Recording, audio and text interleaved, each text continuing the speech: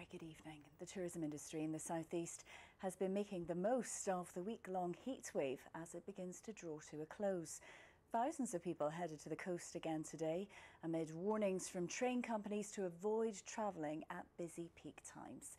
Claudia Zerbasis reports. It's been Kent MP says a controversial road traffic scheme in Tunbridge Wells needs to be looked at again.